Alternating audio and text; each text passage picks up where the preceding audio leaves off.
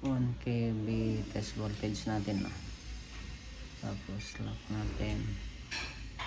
Primary secondary inlet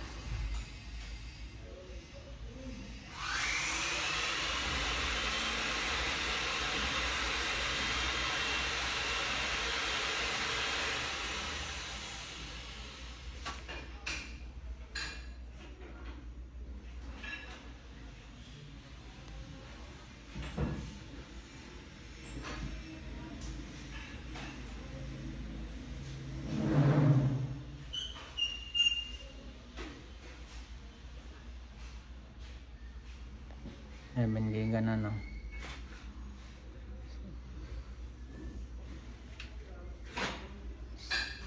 Okay. Next.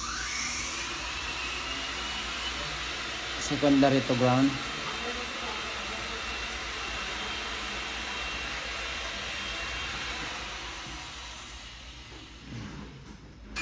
KB ulit. Kita mo pare. Inject natin ulit.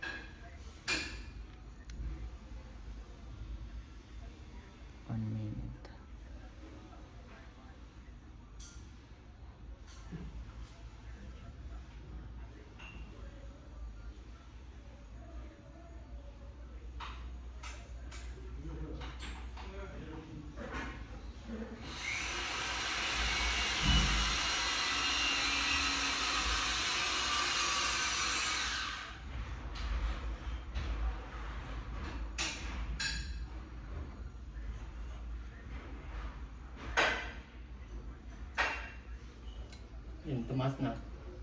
Hmm. Picture ko na. 4 point...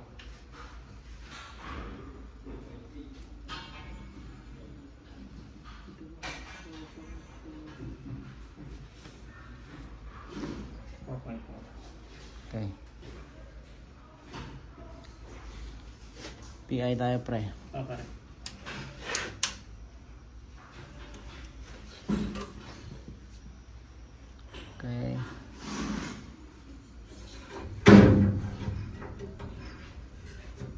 Set natin sa